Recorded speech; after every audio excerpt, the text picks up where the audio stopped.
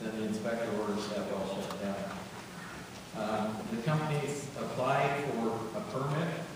Uh, They have to be registered in Boggan County in Ohio. They make an application to us. Uh, The, the process for review through the state agency is the same as it is through the federal agency in other states. Uh, You receive the application, you check it for completeness. If the application is complete, then you do an area of review study.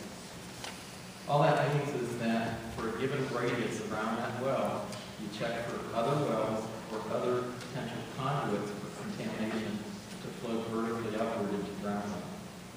After that review occurs and the application has begun its review process, the company's ordered, uh, by federal law, to, to post in a newspaper of general circulation a notice that uh, they have an intent to have a well in an area.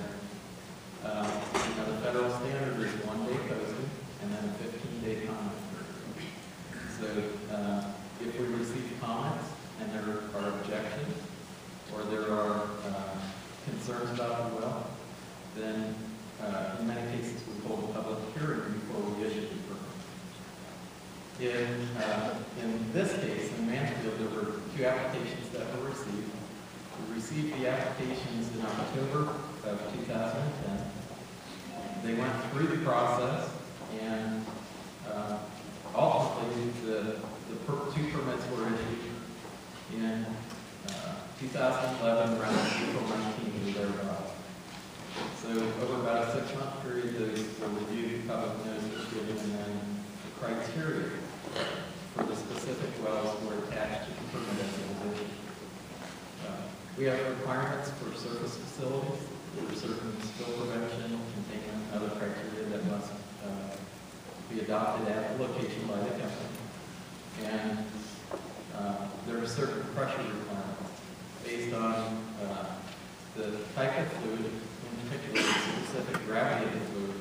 The company makes an application to us to do a laboratory report uh, that shows the specific gravity of the fluids that are likely to be injected in the well.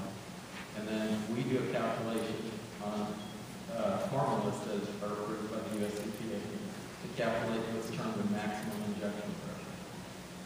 What that pressure does is it allows the company to push the water into the geologic formations at the maximum pressure, uh, injection pressure or lower. The company is not allowed under any case to exceed the maximum injection pressure.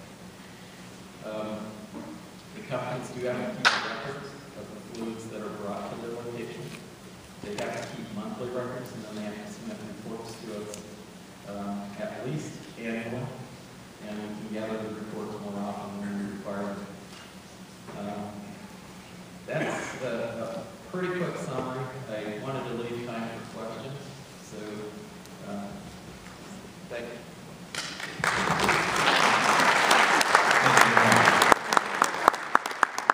Okay, what we're going to do now is, uh, if you have a question, you've got a piece of paper in front of you, we had some already that were submitted, so we'll go through these. But if you can take that piece of paper and pass it over to the aisle, we're going to have a couple people who will sit down and pick those up, and then we can bring those up. I'm promising that we're not going to get through all of them, but we're going to try to get through a lot of them, because I think, uh, uh, Director Spahn wants to ask a couple questions on behalf of Mansfield also, so basically what we would do is try to accumulate as many uh, uh, pieces of paper with questions on them, and then we'll go through as many as we can. Uh, The very first thing we'll do to start this off, is, um, and, and what we're gonna do, because we only have one microphone, is to pass the microphone to the individual that they feel would best uh, suit the answer. Uh, the first question that I have uh, from an individual is, uh, how is the depth of the injection wells determined? So who, uh, who, which one, uh, who? How is the the depth of the injection wells determined?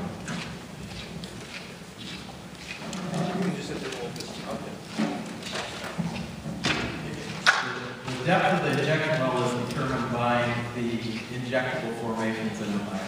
There are a number of formations in different parts of the state, and the formations do vary a little bit from one part of the state to another.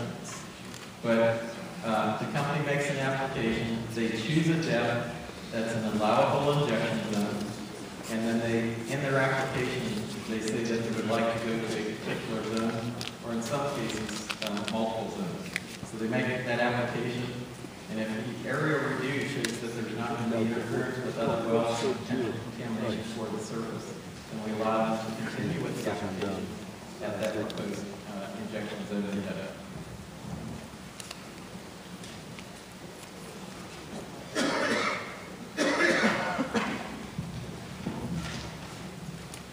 right, the, next question is, uh, do the fracking or the injection well companies, or the fracking companies, do they reuse the liquids?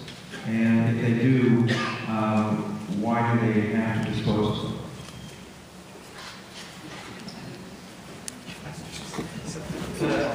The companies that cause fracking to occur are generally contractors. Um, They're, they're a contract company that comes in, for the company that owns the well, and uh, through the drilling process, certain fluids are used. Uh, Some of those are lost down in the deep formation, some are brought back to surface. And then when the well is completed, through the completion operations, one of the things that's done is the hydraulic fracture. Some of those fluids do come back to surface, and where the density of drilling is great enough that it can be economically transported from one well to the next, they are often reused and reused and reused.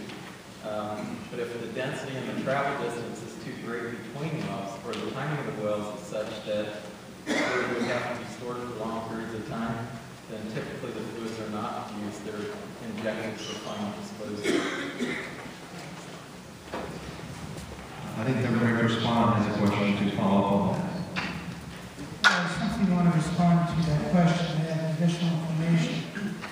Uh, There is dispute over the necessity of whether or not injection fluid uh, should be transported to the injection well site and transported to another, uh, excuse me, the fracking well, and then transported to an injection well site in another community.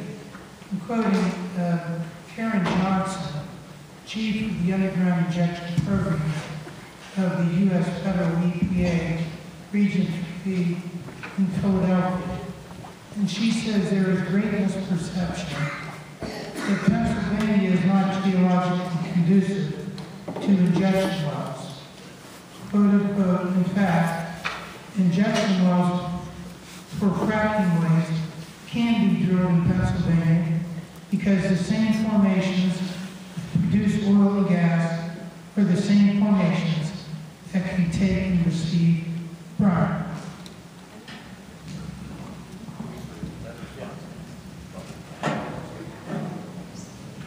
Uh, We agree with the US EPA's analysis. Um, In Pennsylvania, the federal EPA runs the injection program, and there are only seven injection wells in Pennsylvania. Um, You may hear some people say that the geology of Pennsylvania isn't suitable for injection. There are parts of Pennsylvania that aren't as conducive to it, but there are parts that are.